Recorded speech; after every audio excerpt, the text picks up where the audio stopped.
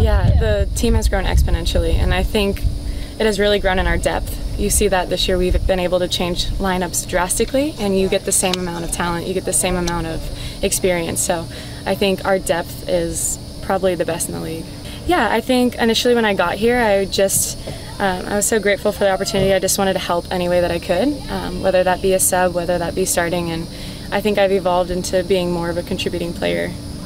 Guys, there's a fly. I can't on like a more consistent basis. Yeah, I think what I love most about our game against Chicago is for the first time we went up and we kept going for more goals, and I think that's an important um, value that we want to have. So we were up four to two, and we were still going at them. Alex beat her down the line and, um, and ended up being wide open in the box. So it was a great ball across and great team goal.